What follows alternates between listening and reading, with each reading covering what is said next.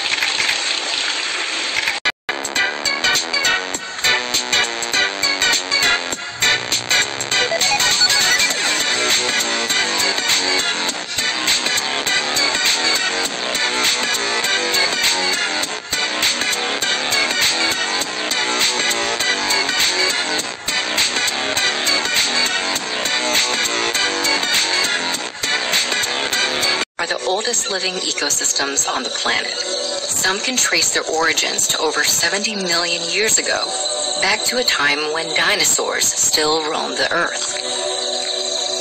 While the giant reptiles helped to stabilize the planet's climate, hope आपने video enjoy किया होगा तो चलिए अब यहाँ पर आ जाते हैं यहाँ पर आपको दिख रहा होगा एक कैमल बना है एक नंबर टू पे डॉल्फिन है नंबर थ्री पे क्या है पोलर बियर और नंबर फोर पे टाइगर, है ना? तो यहाँ पर आपको ये टेबल दे रखी होगी बुक में। तो पहले में यहाँ पर एनिमल का नेम लिखना है नंबर वन पे क्या था? कैमल था।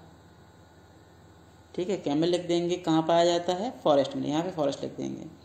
नंबर टू पे डॉल्फिन। डॉल्फिन कहाँ पाई जाती है? सी में, है ना? और नंबर थ्री पे कहाँ है? नंबर थ्री पे क्या दे रखा है ये?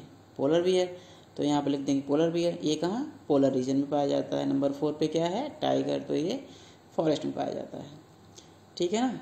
तो इस तरह से आपको भर लेना है। तो हैबिटेट क्या होता है? तो आपने जैसे पहला वीडियो देखा था कैमल कैमल कहाँ घूम रहा था? डेजर्ट में ना? तो an area where a particular animal natural live is called habitat वह एरिया जहाँ पर कोई एनिमल प्राकृतिक रूप से रहता है, उसे उसका हैबिटेट कहते हैं। ठीक है ना? जैसे हमने देखा था वीडियो में भी, कैमल कहाँ रहता था? डेजर्ट में घूम रहा था और डॉल्फिन सी में घूम रही थी।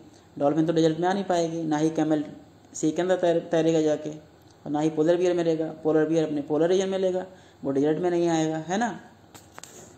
तो जो एनिमल जिस पर्टिकुलर एरिया में रहता है तो वो उसका हैबिटेट हो जाता है। An animal habitat provide it with air water food and shelter जो हैबिटेट होता है, वो हैबिटेट उस एनिमल के लिए क्या प्रोवाइड करवाता है?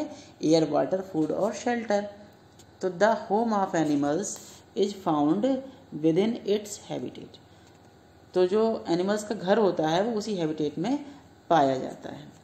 For example a lion's home is den and the forest is its habitat lion तो डैन में रहता है, लेकिन डैन होती कहाँ है भाई? फॉरेस्ट में होती है ना? तो फॉरेस्ट उसका हैबिटेट हो जाएगा।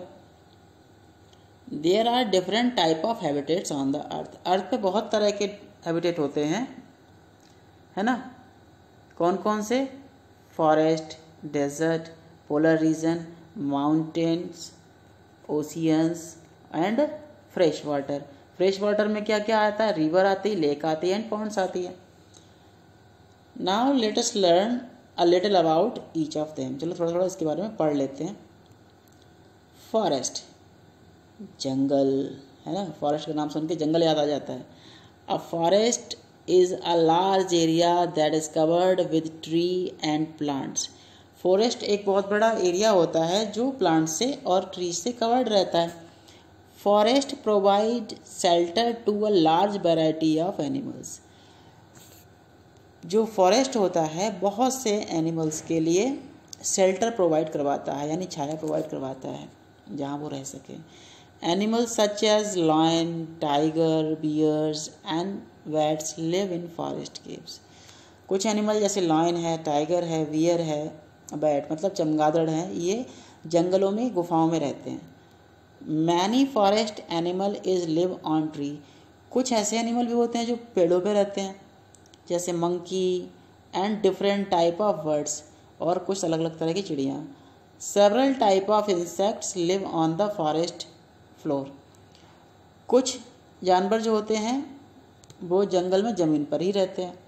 Moles snakes earthworms and rats live inside burrows under the ground उसमें कुछ मोल हैं स्नेक हैं अर्थवॉर्म हैं रैट हैं, ये ब्यूरो मतलब गड्ढा खोद के ज़मीन के अंदर रहते हैं। ठीक है ना? अभी वीडियो आपने देखा था, अजगर तो पेड़ों पे लपटा रहता है है ना? कुछ सांप जो होते हैं, ज़मीन बिल बना के रहते हैं। अब अगला है डेजर्ट डेजर्ट में क्या है? डेजर्ट में ये कैमल है।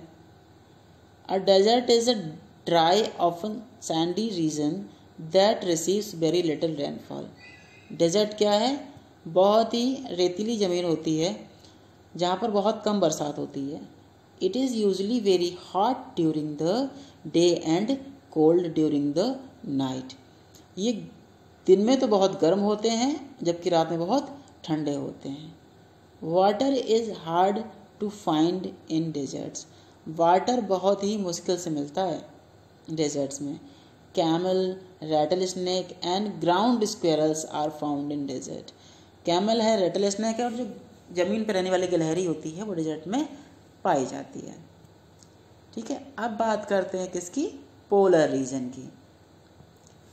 तो polar region and mountains the earth polar region Antarctica and Arctic and high mountains are the extremely cold and covered with snow polar region वह रीजन होते हैं जो बहुत ठंडे होते हैं और इसके ऊँचे ऊँचे पहाड़ जो होते हैं, बर्फ़ से ढके रहते हैं।